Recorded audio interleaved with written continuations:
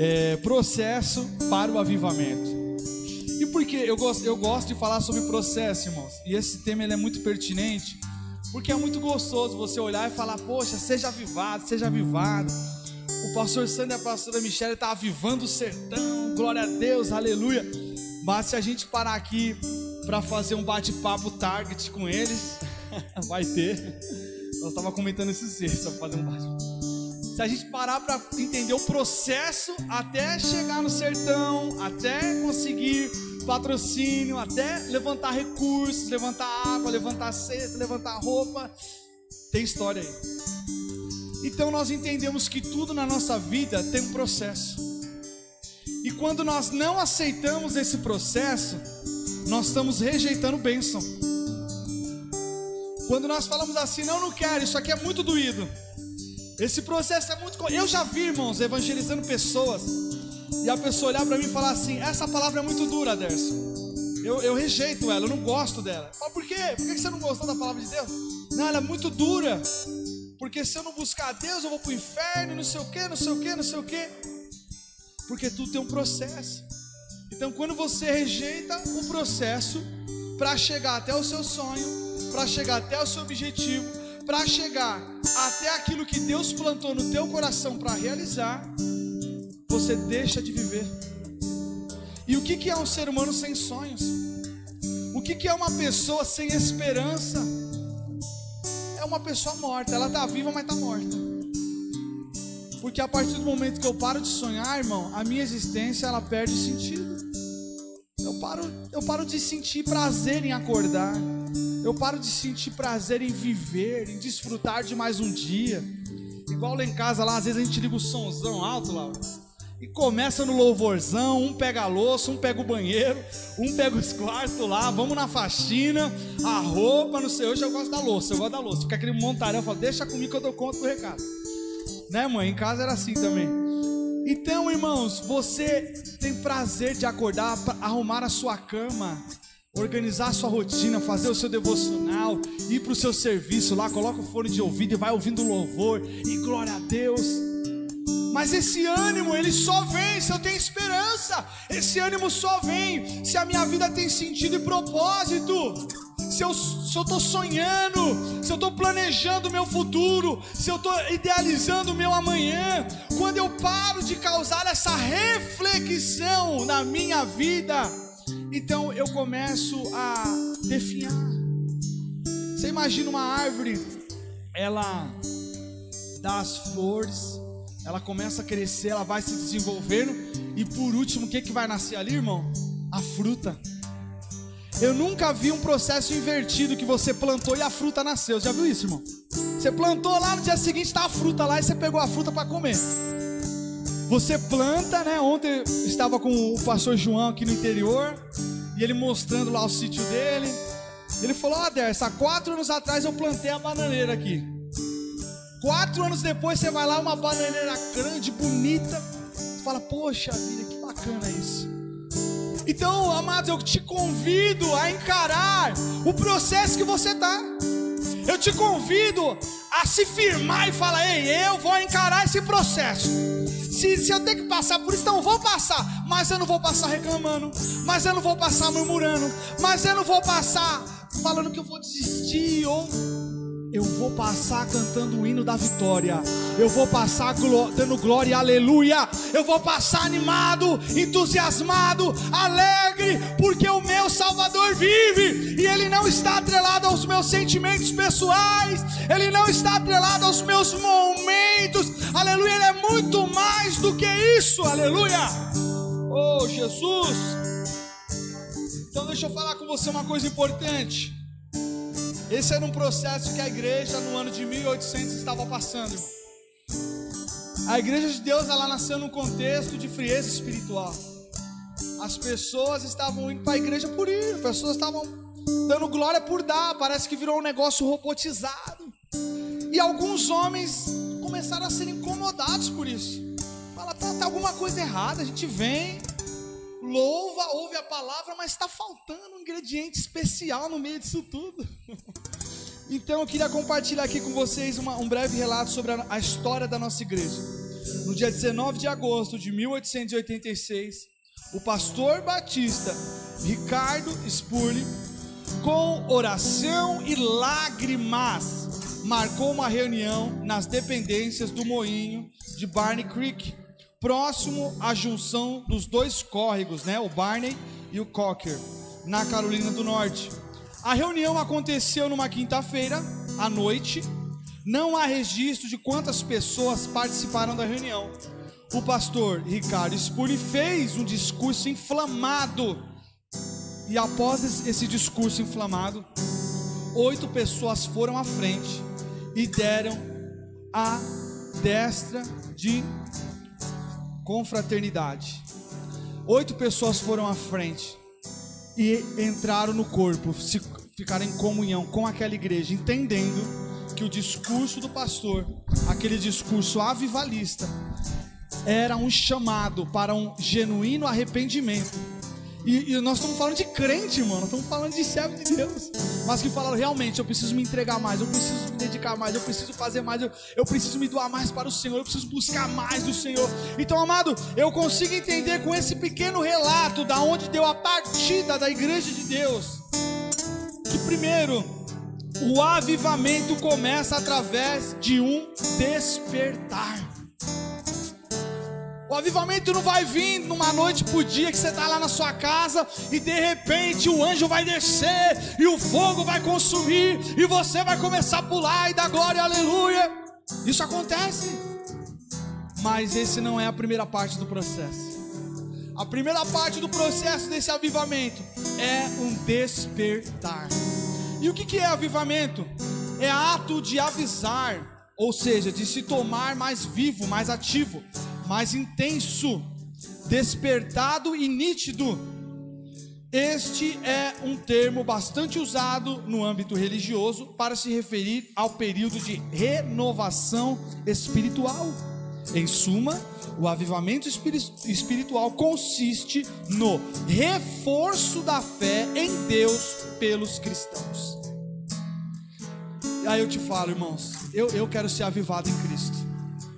Você está comigo nessa, irmão? Nós estamos conectados nessa manhã na mesma visão, amém, irmãos? Eu quero ser, meu coração, ele quer, ele almeja. Senhor, eu quero mais, eu quero mais, eu quero mergulhar mais, eu quero receber mais de Ti, eu quero ser envolvido mais na Tua presença. Então, isso é o que, irmão? Isso que nós estamos tendo aqui é um despertar.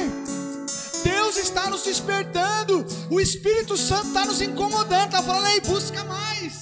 É igual na quinta, né, Cida? As irmãs, vamos lá, vamos na igreja, vamos orar.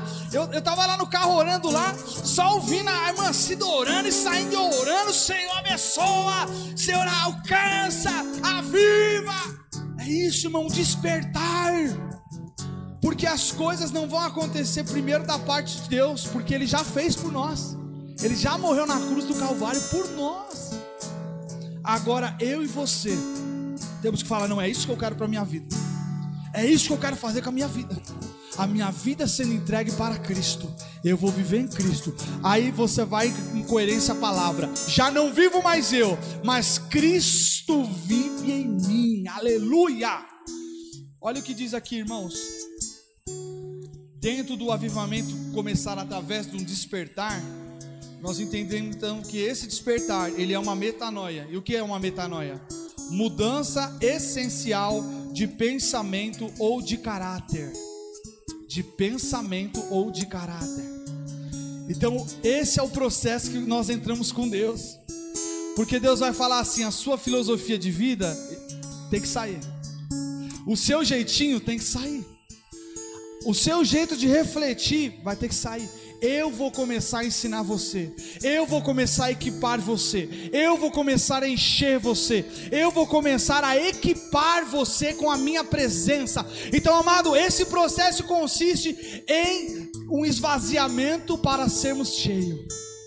Então você começa, por isso que a palavra de Deus ela confronta, porque ela vai espremendo tudo aquilo que não é de Deus vai saindo, tudo aquilo que não provém de Deus ele vai saindo de nós, e nós começamos a receber uma mente nova, uma atitude nova, um comportamento novo. Aleluia, nós começamos a receber uma fala diferente. Você começa a se comportar diferente. Aleluia, o seu diálogo é outro. Aleluia, os lugares que você frequenta são outros. Você começa a ter uma conduta de servo e serva de Deus e não por imposição humana, e não por uma questão ritualística, e não por uma questão doutrinária humana, mas porque o Espírito Santo de Deus, Ele está te chamando para você viver de maneira intensa na presença dEle e desfrutar de tudo aquilo que a palavra nos oferece. Aleluia!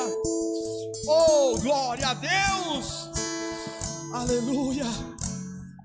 Olha o que diz aqui, irmão. Vem comigo, Ageu capítulo 1, do versículo 2 ao versículo 8. Ageu capítulo 1, do versículo 2 ao versículo 8. Olha que interessante isso. Assim diz o Senhor dos Exércitos: Esse povo diz: ainda não chegou a hora de reconstruir a casa do Senhor. Então o Senhor enviou esta mensagem por meio do profeta Ageu. Por que vocês vivem em casas luxuosas enquanto minha casa continua em ruínas? Assim diz o Senhor dos Exércitos: Vejam o que tem acontecido com vocês. Plantam muito, mas colhem pouco. Comem, mas não se saciam. Bebem, mas ainda têm sede. Vestem-se, mas não se aquecem. Seus salários desaparecem, como se vocês os colocassem em bolsos furados. Assim diz o Senhor dos Exércitos Vejam o que tem acontecido com vocês. Agora, subam as colinas, tragam madeira e reconstruam minha casa, então me alegrarei nela e serei honrado, diz o Senhor.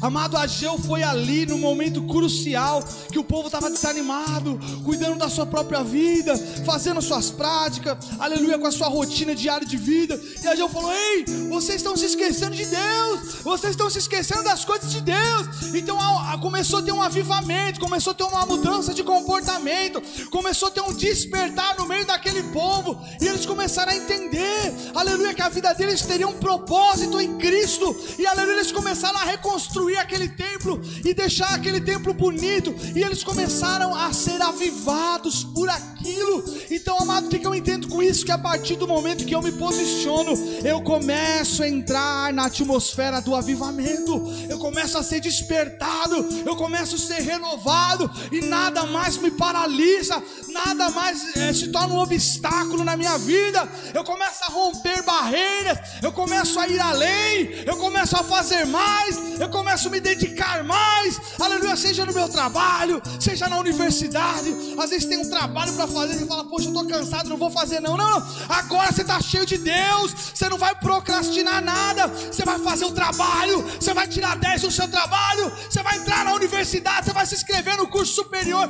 Deus começa a avivar, Deus começa a fazer a gente enxergar a vida, Deus começa a fazer a gente ter prazer em viver, prazer em conquistar, prazer em lutar pelas coisas nesse mundo.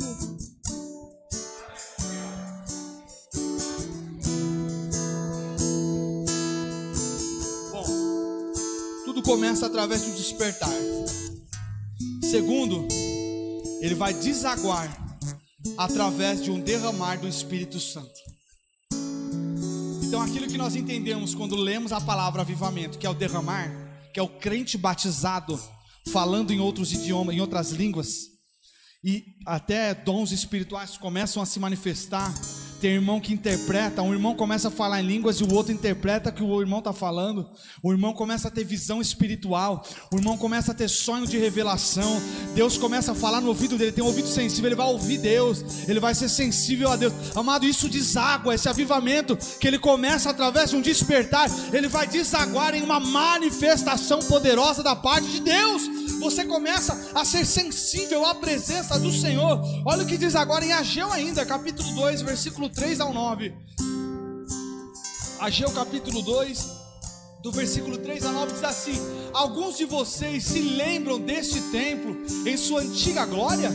como ele lhe parece agora em comparação com o anterior, deve parecer insignificante. Mas assim diz o Senhor: seja forte. Repita comigo: seja forte. Fala pro irmão do teu lado agora: seja forte. Oh, glória!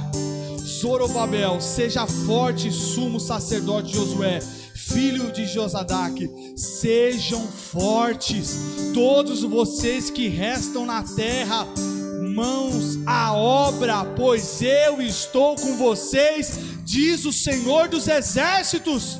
Meu espírito habita em seu meio, como prometi quando vocês saíram do Egito. Portanto, não tenham medo. Repita comigo: não tenha medo. Não tenha medo, irmão. Pois assim diz o Senhor dos exércitos: em pouco tempo. Eita, irmão, não sei se você está entendendo. Estende sua mão, estende sua mão. Em pouco tempo sacudirei novamente os céus e a terra, os mares e a terra seca. Vem comigo. Sacudirei todas as nações e os tesouros das nações virão para este templo. Encherei este lugar de glória, diz o Senhor dos exércitos. A prata e o ouro me pertence, diz o Senhor dos exércitos. A glória deste novo templo será maior que a glória do antigo diz o Senhor dos exércitos. Irmão, Deus não está olhando para o teu passado, Deus não está preocupado com o teu passado. Você pode falar, ei, está tudo podre, está tudo podre, eu sou indigno. Deus fala, você é digno, o meu sangue te regenera, o meu sangue te purifica, o meu sangue transforma você, a minha presença restaura a sua existência, a minha presença dá significância à sua existência. Oh,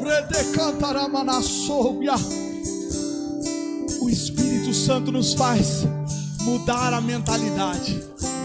Aí você fala, poxa, eu, eu buscava mais, eu servia melhor o Senhor, eu já fui batizado no Espírito Santo, mas agora eu não falo mais em línguas, pastor. Pastor, eu já, eu já não estou sentindo mais aquela presença. Pastor, eu já não sinto mais as revelações que Deus me dava antes. Ei, amado, para de olhar para o antigo templo. Para de se basear. Para de comparar. Porque a glória será maior. A glória será maior.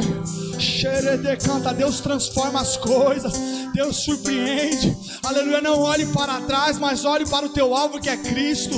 Nesta manhã, Ele te trouxe aqui para que você desperte a tua mente, amplie o teu conhecimento sobre a existência dEle e o que Ele é capaz de fazer em você e através de você. Então as pessoas começaram a ser impactadas. As pessoas começaram a ser cheias dessa presença de Deus. Você entende isso? As pessoas começaram a receber um entendimento. E ali, quando Achão falou isso, ele falou: Glória a Deus, vamos inaugurar o templo, vamos exaltar o Senhor nesse lugar. Deus vai sacudir a terra, Deus vai fazer grandes coisas. E a palavra vai dizer que o milagre da profecia ele vai se cumprir quando João Batista começa a pregar no deserto. João Batista preparando o caminho para a vinda de Jesus Cristo. Ele vai, ele vai dizer: endireita as tuas veredas, se convertam, porque eu batizo vocês com água. Eita Deus! João Batista falou: Eu batizo vocês com água mas aquele que virá, aleluia, ele vos batizará com água, com fogo, ele é poderoso, ele é tremendo, ele é fiel, ele é justo, amado, esse Deus que nós servimos é um convite que tem aberto para você entrar e desfrutar desse sobrenatural de Deus, tua vida, mudar tua história, reescrever os teus caminhos na presença dEle. E ali esteve Jesus. E Jesus, o que, que Jesus fez? Jesus fez tudo que Ageu falou. Ageu falou que o que ia sacudir a terra. Jesus veio e sacudiu a terra. Os escribas não, não estavam entendendo o que ele falava. Aleluia, os filósofos da época não conseguiam compreender a fala de Cristo. Aleluia, muitos achavam difícil o jeito que ele falava. O sacerdócio discriminava, falava, ele fala contra, ele fala contra a nossa religião, ele prega contra, ele está curando no sábado, aleluia, ele está tocando em mulheres, ele está fazendo coisas, aleluia, que vão contra a palavra, porque Jesus veio romper, irmão, ele veio romper religiosidade, ele veio romper usos e costumes, ele veio romper, aleluia, tudo aquilo que bloqueava as pessoas de reconhecer o amor de Cristo. Por isso que a mulher do fluxo de sangue foi se rastejando. 12 anos enferma, 12 anos, agoni 12 anos agonizando ali, mas ela foi se rastejando no meio da multidão e ela tocou na orla. E ela tocou na vestimenta de Jesus e foi sarada e foi curada. E é por isso que o homem que estava lá no tanque de Betesda, to todo mundo entrava, o anjo passava lá, era uma coisa ritualística, era uma coisa de misticismo envolvendo ali e de repente Jesus Cristo vai e cura aquele homem. Ei, levanta e anda.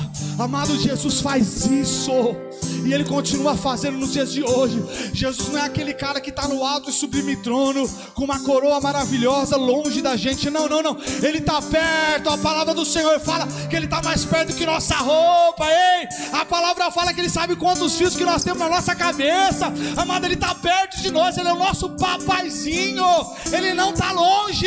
Ele está do teu lado. Ele está falando: Eu te amo. Eu quero usar você. Eu quero fortalecer você. Eu quero renovar tua força.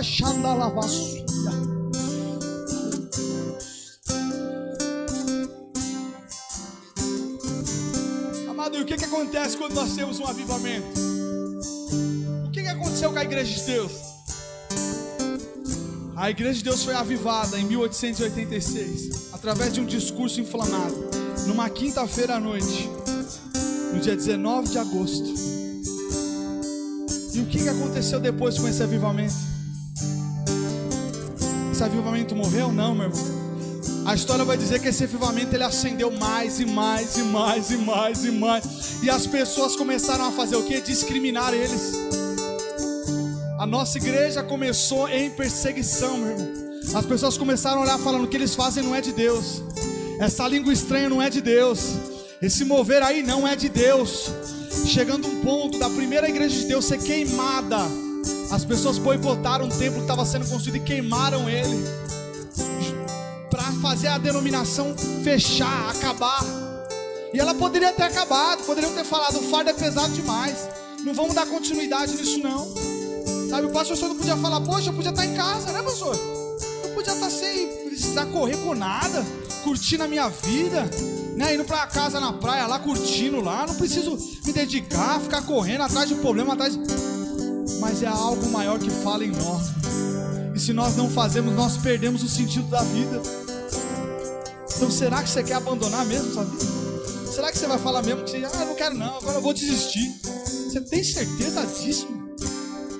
A palavra do, a palavra do Senhor não, mas a história vai dizer que esses homens eles continuaram pregando o evangelho. A igreja foi queimada, eles procuraram outro local e começaram a se reunir, meu irmão.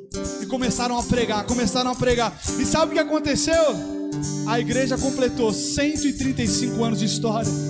Então deixa eu te falar uma coisa aqui, ó. Hoje a igreja de Deus, através desse avivamento, ela tem 8 milhões de membros, 185 países é, e territórios cerca de 40 mil igrejas ao redor do mundo, 480 missionários, 116 seminários, escola e universidade, aproximadamente 40 mil estudantes, enquanto os ministérios regionais e internacionais fornecem recursos e apoiam através das nossas divisões de evangelização mundial, cuidado, discipulado, educação e serviço de apoio.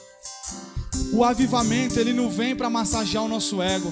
O avivamento não vem para a gente ficar sozinho, desfrutando da beleza, da santidade de Deus. Ele vem para a gente multiplicar. Ele vem para a gente incendiar outras pessoas. Ele vem para a gente amar o próximo. Ele vem para a gente abraçar as pessoas. Ele vem para a gente curar os enfermos. Ele vem para a gente liberar palavras de esperança para as pessoas. Ele vem para causar mudança na vida de outros. A palavra do Senhor fala que pelos frutos você conhece quem é e quem não é, meu.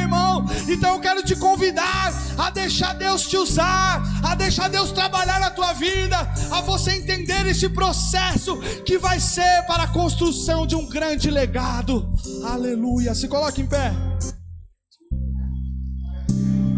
Oh Espírito Santo. Vamos orar ao Senhor.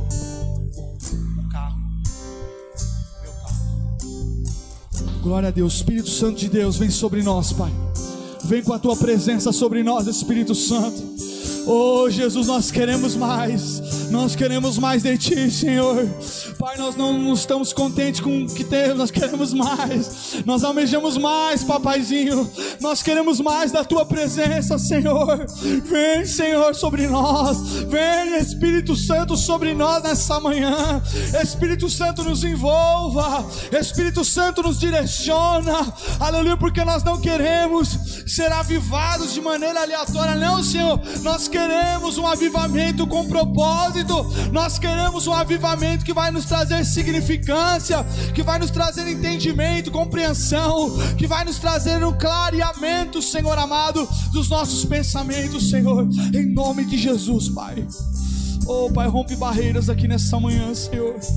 Eu não sei o que o irmão tem passado, eu não sei o que a irmã tem passado, mas o Senhor conhece os nossos corações, o Senhor sonda os nossos corações, o Senhor sabe as nossas intenções, o Senhor sabe o que necessitamos, o que precisamos.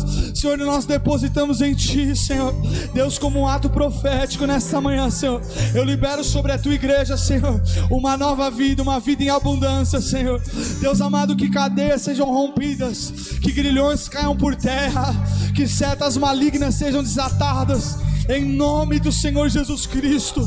Tudo aquilo que veio para aprisionar, tudo aquilo que veio para magoar, para entristecer, seja colocado por terra nessa manhã, em nome do Senhor Jesus Cristo, Senhor da glória.